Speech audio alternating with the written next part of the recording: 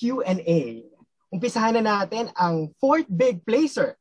Ang kwelang fangirl ng Sarangani, we have Gian. Yan, she's with us sa Zoom. Hi, Gian! Ayun, wala lang tayong naririnig kay Gian ngayon, no? Uh, i-unmute siguro, ayan. Hi po. Hi, Gian, kumusta? Okay lang po.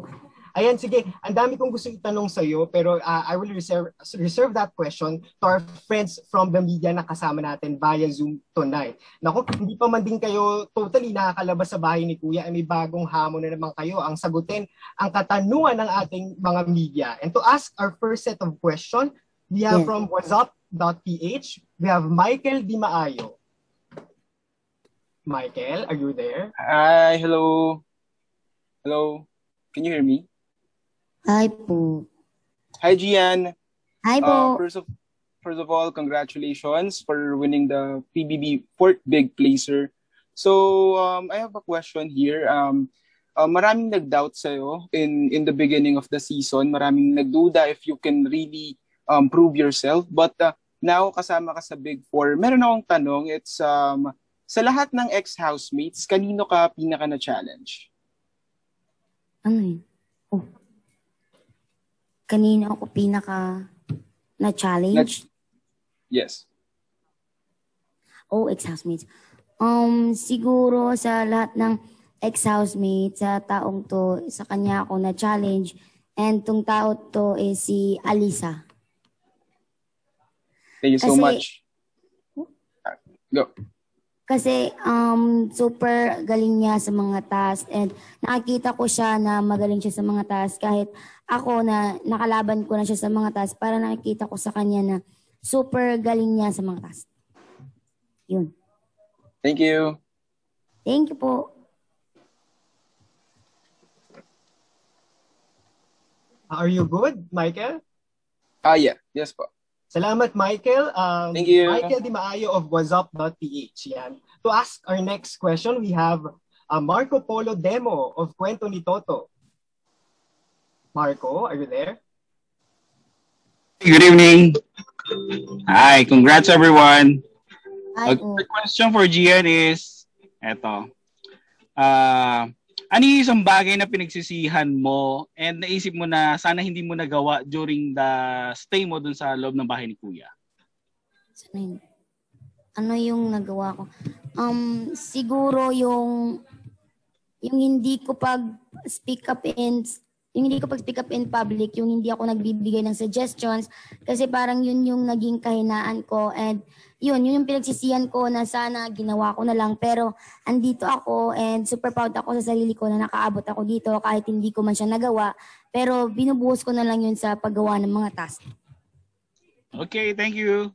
Thank you po. And salamat, Marco. And for next question, kasama naman natin from Stars Photo, we have Kuya Alan Sancon. Kuya Alan?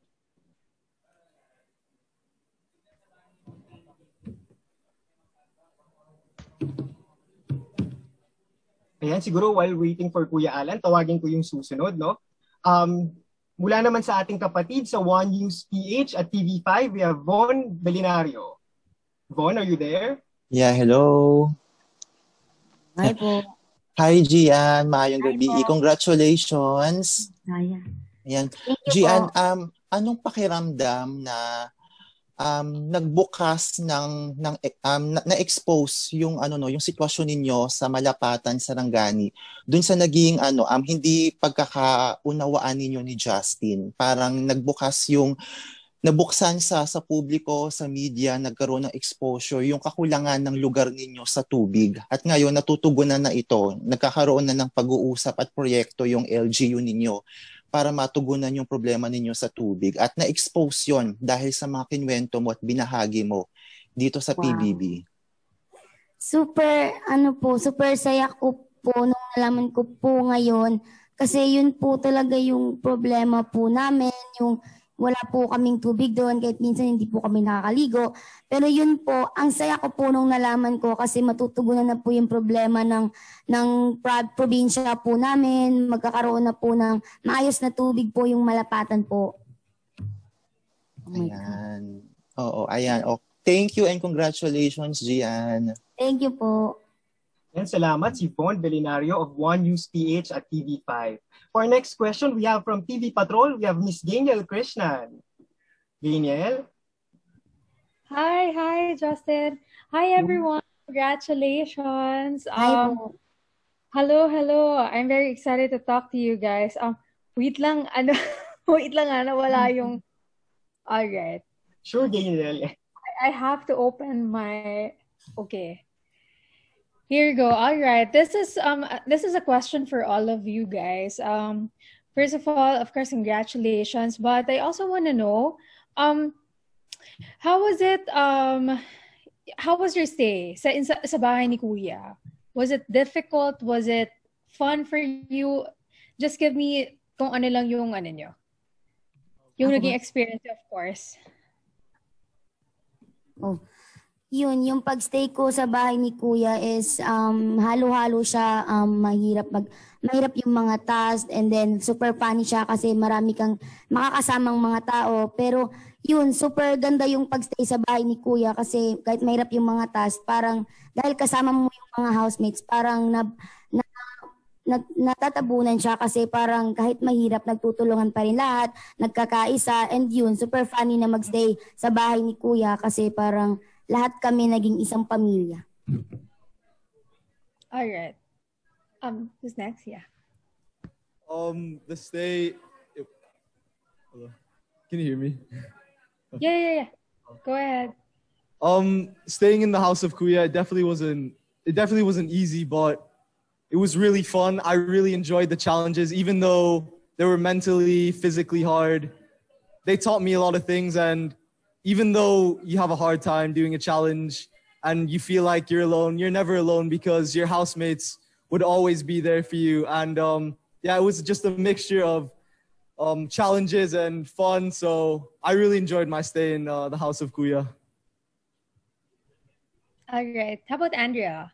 Um, for me po, na yung journey ko dito sa bahay ni Kuya was a roller coaster ride of emotion. Sobrang daming pagsubok, ang daming mahihirap na challenges, as in, ilang beses ako umiyak dito sa bahay ni Kuya, pero alam ko po na sobrang worth it. Ang dami kong natutunan, and most of all, may nabuo akong, may nabuo akong pamilya dito sa bahay ni Kuya, at ayun yung mga housemates. Of course, our big winner. Ah, para sa akin po, ah, mahirap siya pero sobrang daming natutunan po namin sa loob ng bahay ni Kuya kasi lahat po ng mga hamon ni Kuya natagumpayan man namin o bigo po ay lahat po, lahat po ng task ni Kuya po, sobrang daming makukuhang aral po sa loob ng bahay ni Kuya. At yun po, ah, maliban doon, ah, sobrang saya kasi unexpected na pamilya ang, mak- ang matatagpuan sa loob ng bahay ni Kuya. Sobrang lahat kami po nagko-connect-connect po. Grabe, yun po. Leo, for again, congratulations. But I also want to ask, tuwing lumalabas sa bahay ni Kuya yung mga housemates, um, diretso showbiz career sila eh. Are you guys also into that? May kita ba, Justin, pwede ko na ba silang tanungin tungkol sa, sa magiging showbiz career? Are you guys game? Na, of course, umarte na rin on television. Go ahead, Daniel. Sure. So yeah, are you guys game na umarte na rin ulit sa television?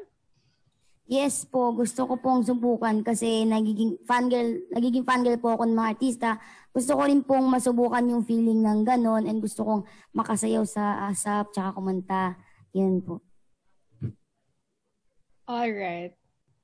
How about Leo for? Um, ako po, kung may opportunity man, syempre po, gustong gusto kasi pangarap ko din po. Kaya yun po, i-grab ko na po kung meron man. How about Kobe? Um, yes, well, if I was able to get the opportunity, I would definitely grab it. Um, it's been my dream since I was a kid, so um, if ever I got the opportunity, I would definitely grab it. But Kobe, are, are you also game to um are you also game to learn more about the Tagalog um language, like Filipino language? Kasi Oh. ano, syempre marami tayong teleseries dito na talagang uh, Filipino ang gamit nila. Are you also game to do that? Opo, syempre naman.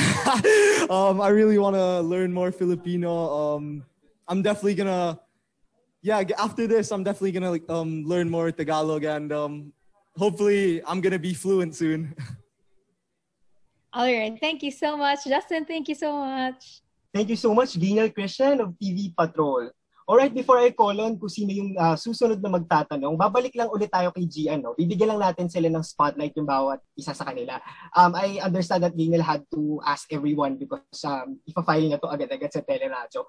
But um, for our next question for Gian, we have John Michael Bueno of uh, Kumagkao.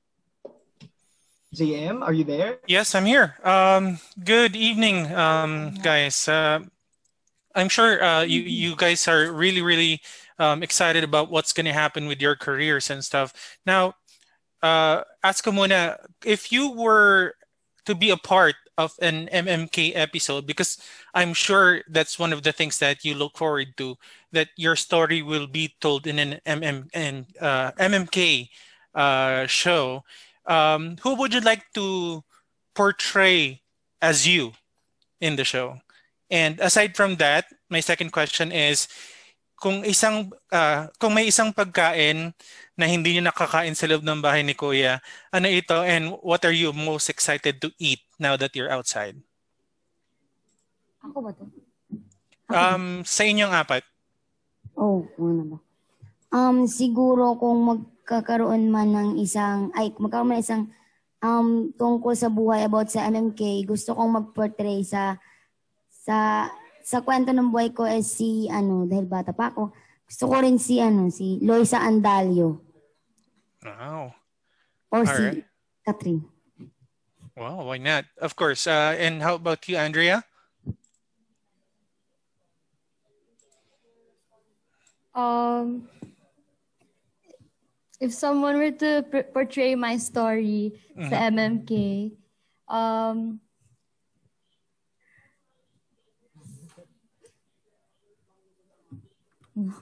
siguro, um,